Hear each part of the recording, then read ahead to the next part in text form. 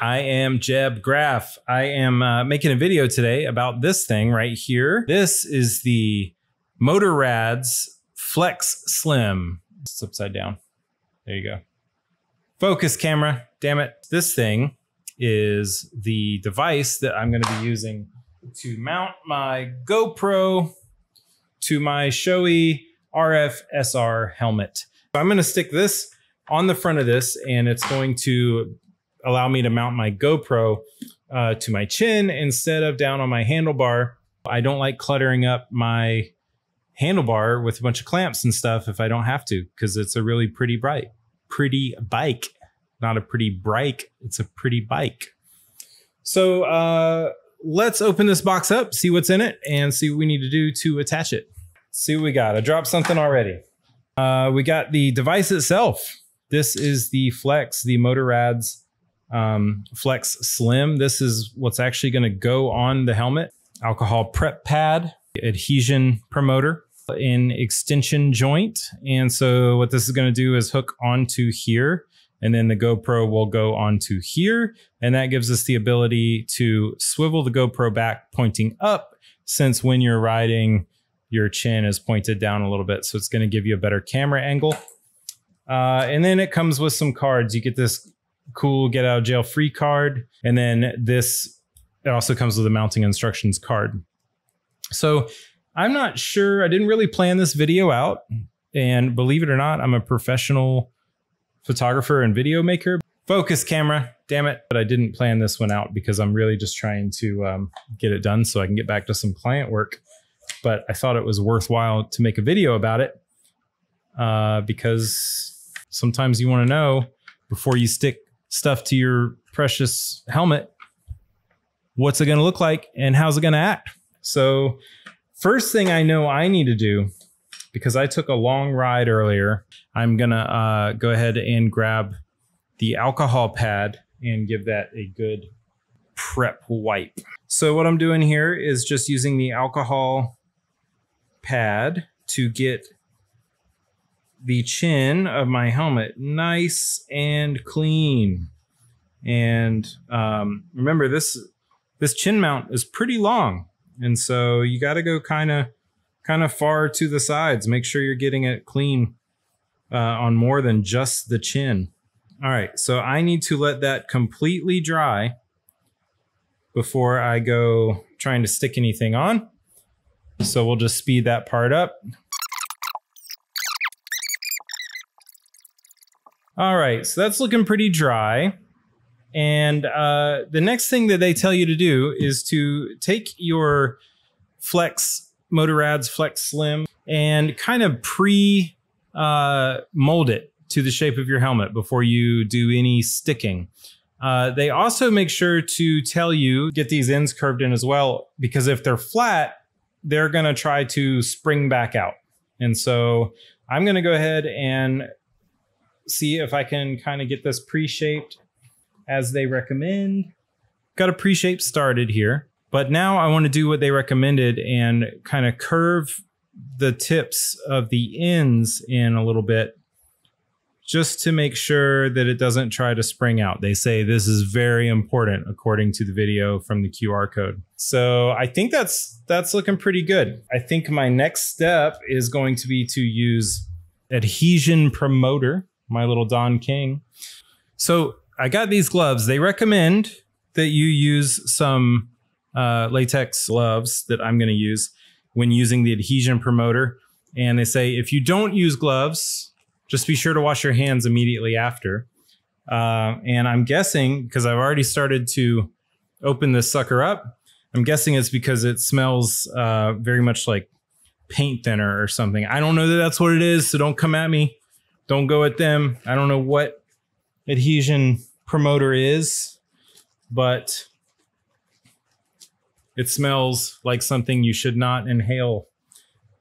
All right. Uh, so I'm going to go ahead and, oh, yeah, that is ripe, my friend. That is not something that you want to inhale too much of. And I'm just going to, oh, no, I dropped it. Let me grab it. Yeah, so you're gonna want to just rub this on. It is out there. It is promoting. It is handing out little flyers, telling everybody on the helmet to get ready. The big, the big event's coming. Promoting like crazy. The street team. So I've got that on there. I've got that applied. It's still wet. We need to let it dry. Focus camera. Focus on me. Come on. Find me.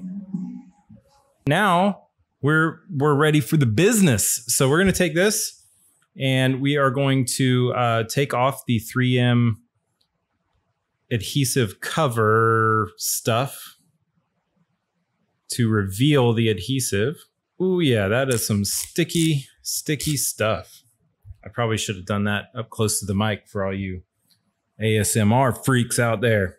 So I'm going to put my helmet straight up and down so I can eyeball this pretty good.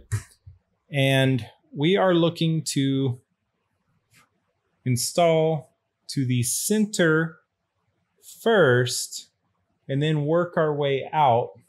That is right where I want it. So I'm going to give that a firm press in the center. And then I'm going to work my way out towards the ends. Focus camera, damn it. Just pressing down, giving it some good, good pressure. And once again, I'm just, I'm going to hold that center down for like 30 seconds. And then same thing for the edges. I'm just going to be applying some hard pressure here. You might see some gaps at like the top edges or the bottom edges. And the trick to filling those gaps would be to, um, you know, there's like this, this triangular shape is to push on the opposite side of the triangle to get that stuff to stick to your helmet. So you would, if you have a gap on the top, you're going to push from the bottom.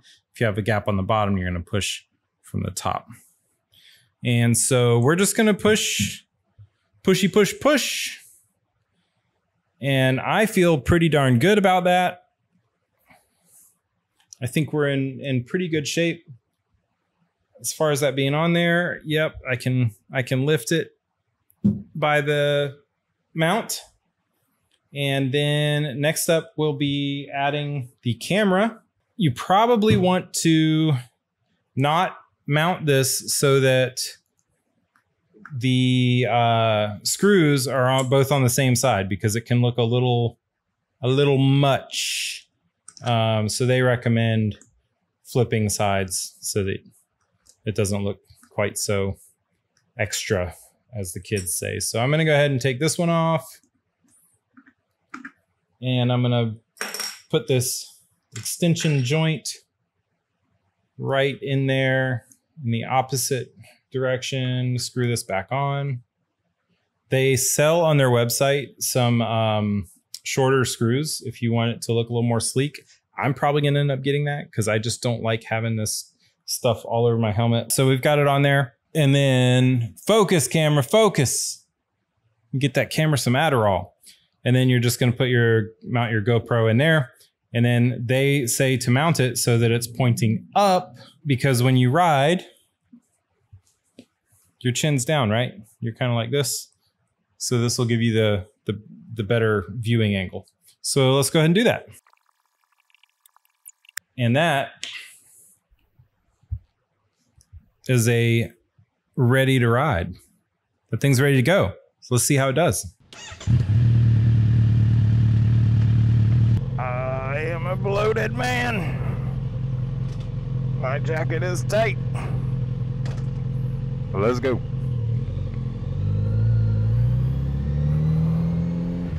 One way. Oh no, I can see in my mirror that one of my backpack straps is jacked up. No bueno.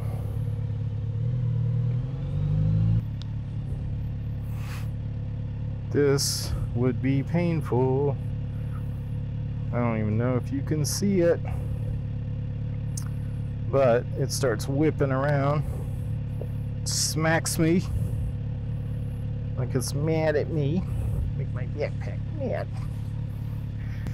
All right let's try this again I think that I'm going to go left here because there's a road that I think might be decent for what we have around here. Let's go this way.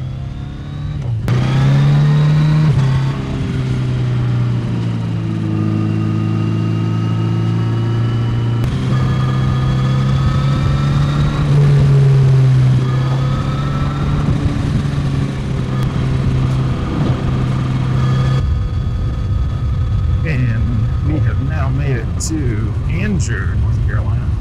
My friend thinks it's anger, and I like that. I like when our friends give us things to think of them for. So, Mr. Strickland, if you're watching this, I appreciate you thinking that this town's called Anger. It'd be pretty cool if there was, instead of a car wash, if there was like a basically a car wash that was just a mister. So when it's hot you could just roll through it cool off like at amusement parks when you're standing in line. They have those misters out. Okay is that what you can do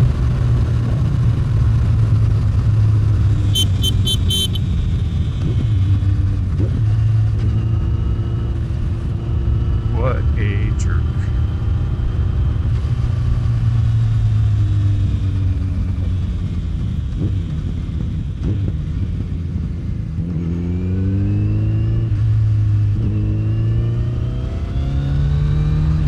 Oh, brake checking drives me nuts. Why are you like this?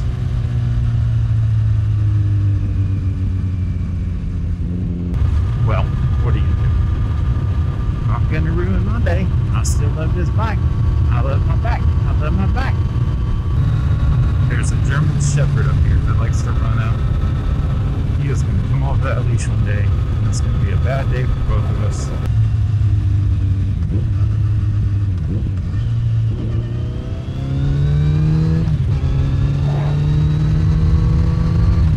What a maroon.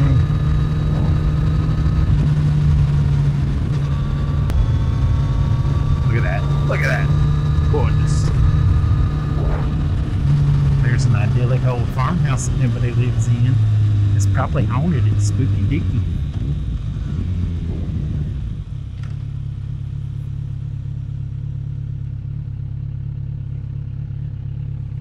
Beautiful.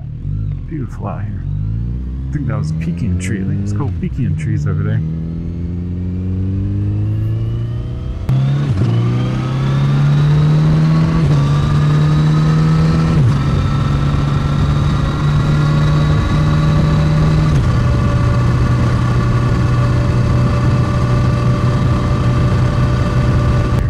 Is this a Miata? A Miata? Heck yeah, it's a Miata. Look at that smiling car.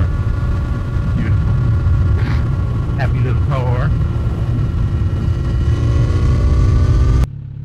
People been doing donuts at this intersection. That is a pretty, pretty place. Ooh, look at this rig. This is a Mad Max right here. Dang. Dang, brother. Woo. Oh, we got some wet road. Recently rained over here, and I feel it. It's like some cold, cold air. I love it. But we need to be careful. Gonna gently roll off our throttle. Start to brake. Downshift. Downshift. Downshift. Let's turn right here. Gotta go up here and do a Yui. Yeah, I thought there was a car sneaking out back there.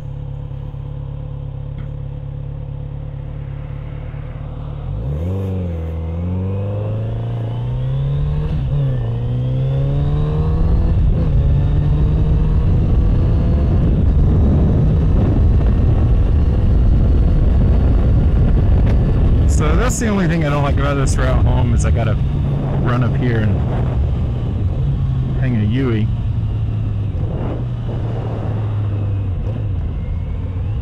Not a big deal.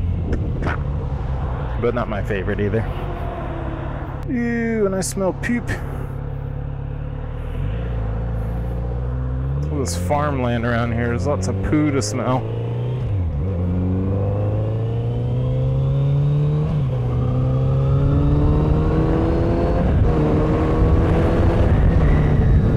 See Campbell? You want to see Campbell? Let's go ride through Campbell real quick. Quaint little school here in Buies Creek, North Carolina. Home of the Fighting Camels. Oh man, did I drive through dog crap? It reeks. Or is it fertilizer? Oh, I bet it's a fertilizer truck full of shit up there. Gross. Ooh. There we go.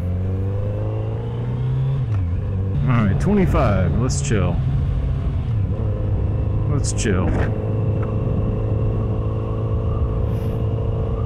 It's cool seeing those caps and gowns, sighting dimes for people. People are graduating, excited about their future, proud of their accomplishments. Good job. Bob Barker Hall. I know Mr. Bob Barker. He is not the game show guy. This company here in our area, in, based in Fuquay they make um, prison products like mattresses and stuff uh, for prisoners. And they also have the Bob Barker Foundation. And the foundation does a lot of work to fight recidivism from prisoners who uh, get out of prisoner prison, and uh, that's really that's really good of them. I think that's a good cause. And here we go. That was Campbell University. There's the shortstop. There's the UPS man. Know what? I'm a little bit jealous that our friends across the pond get to say Z instead of Z. out here on my Z900 RS Cafe. Well, hello little goats. What you doing here? Eating some grass, I see. Yeah, so let's talk about the Z900 RS Cafe. Probably the most amazing motorcycle.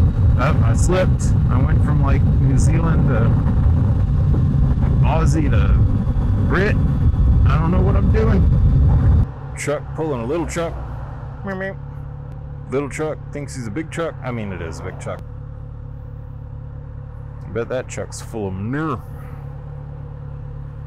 And we're gonna go. Let's go.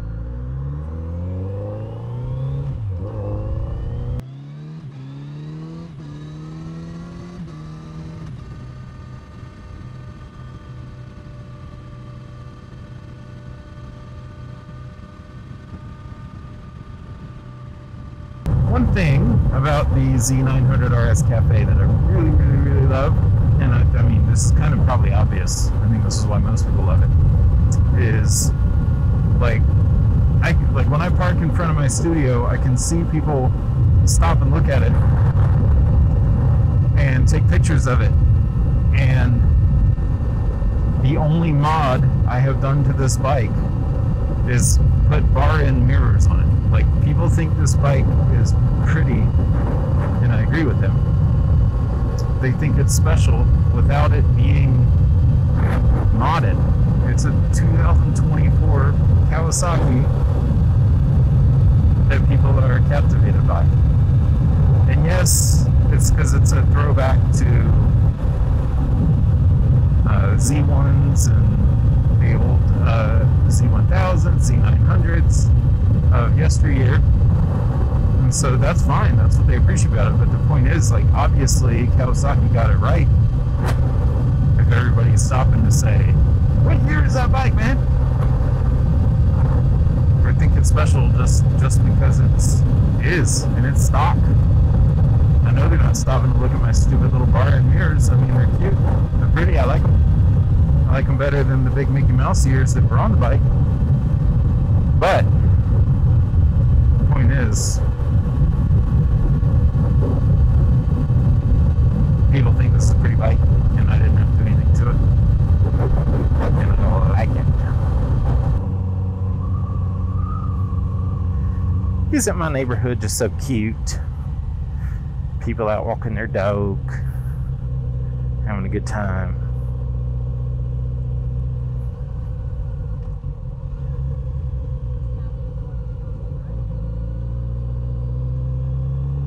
Where's my house? I need to mow the grass. Oh yeah, you betcha. Looks like they got some rain here for sure. Right up here to the door. Oh look, it's my boy.